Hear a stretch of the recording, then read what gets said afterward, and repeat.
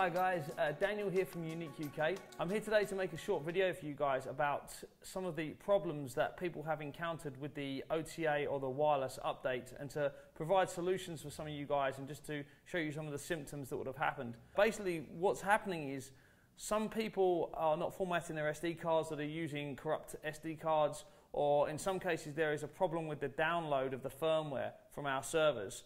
And what that's causing to happen is it's causing the H not to upload the firmware correctly and to fail halfway through the update. Now, the symptoms that you're going to see are the Typhoon H will appear to be dead. It will appear to be lifeless. None of the LEDs will light up on the end of the arms. The power button will be illuminated, that will light up, but you have no life in the drone. You won't be able to connect to it, and there won't be any way of, uh, of, of connecting to the drone basically.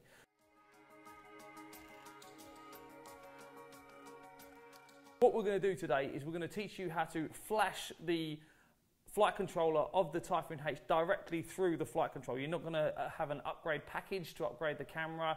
You're just literally going to update the flight controller inside the H and you're going to do that through the GUI.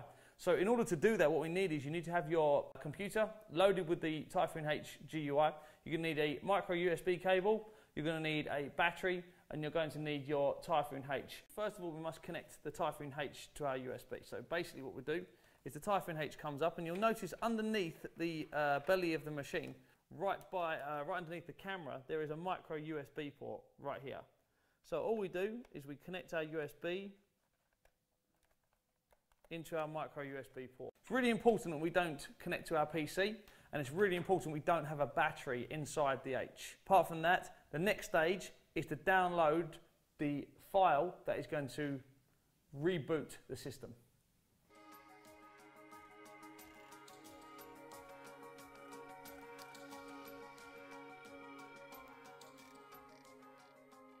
The next thing we need to do is we need to load our GUI.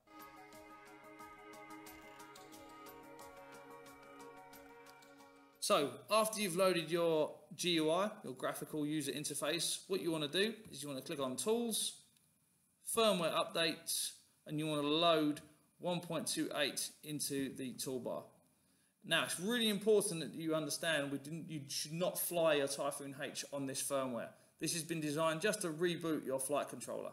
So after I've done this, all I want to do is I want to connect the Typhoon H to my PC using my USB cable. Once I've done that, the update process will happen. If it doesn't happen automatically, just select update.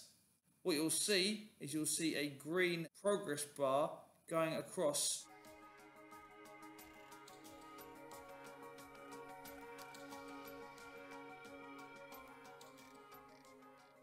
Once it's finished, select yes, and your Typhoon H has been backdated to 1.28, ready for you to reinstall the latest software. Okay, so now what should have happened is after you install a battery into your Typhoon H after installing 1.28, the machine should be re should reboot no problem. Okay, everything should be working. So the next stage now is to re try and reinstall version 3.0. So the latest firmware where you're going to get tons of new features.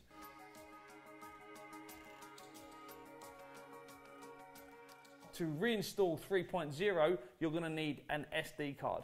Now, there are two ways to install 3.0. One of them is through the wireless update. The other way is to download the .bin file straight from our website. Download the 3.0 bin file directly to your SD card and then take that into the camera and do the upload straight from there. Rather than the ST16 downloading the firmware, you can do that through your computer and place it on the SD card yourself. So there is two ways to do the update. It's completely your choice. So I've already downloaded the .bin file, placed it onto an SD card and put it in the bottom of my CGO3 Plus camera. So I am ready to go. So what I need to do, connect the uh, machine as normal, system settings, okay to exit my screen. I'm going to go to about controller and then Typhoon H, I'm going to click on update. And then I'm going to make sure my remote battery is above 50%. It is, so I'm going to click on OK. And what's going to happen is the Typhoon H will unpack the file and will upgrade my flight controller, my gimbal and my camera. So once you have rebooted your flight controller on 1.28 and then you have reinstalled the latest firmware, then you must please make sure you clear the data from your ST16